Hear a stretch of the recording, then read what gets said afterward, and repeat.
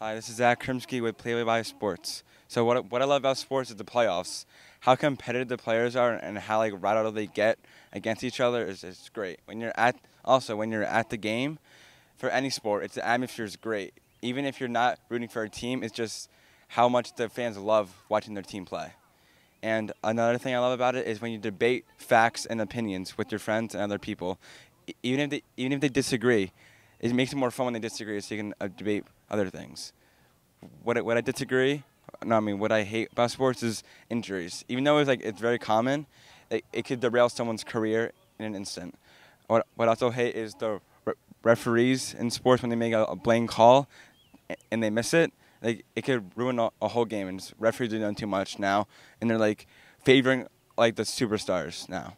And one thing I hate about sports is the Dallas Cowboys. I'm an Eagles fan, and I hate them to death. Thank you. This is Zach Krimsky from Play by Sports. Thank you for watching.